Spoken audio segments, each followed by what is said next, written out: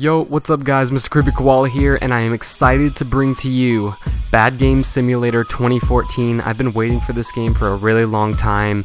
I've been watching it on Steam, and it's been set back a couple, you know, weeks and months, and I'm really excited to play this, so I'm not going to hold you guys back or anything and keep you any longer. Let's just go ahead and jump right into this game of Bad Game Simulator. I'll get back to you when it loads up. Alright guys, we're back here with Bad Game Simulator 2014. I'm, I don't know really how to play this. It looks kind of like an old retro kind of 8-bit shooter kind of. So it's gonna probably come up and show me how to play this game with some help. Oh yes, there we go. Um, press A to jump. Okay, we got A to jump. Now to walk, it's left stick and right is to look around.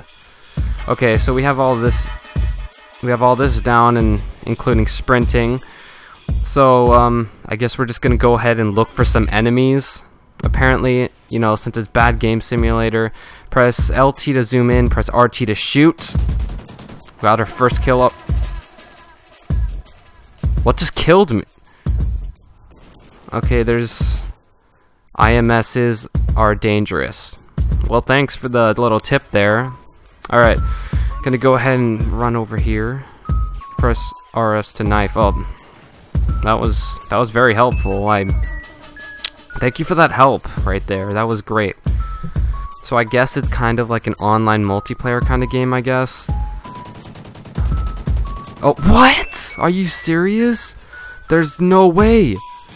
Di he won't die. Press RS to knife. There we go. You gotta finally got to kill. Okay, gonna kill this guy right here. Are you... What was that?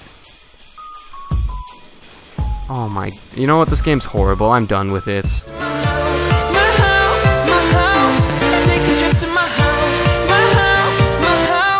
Take a trip to my house.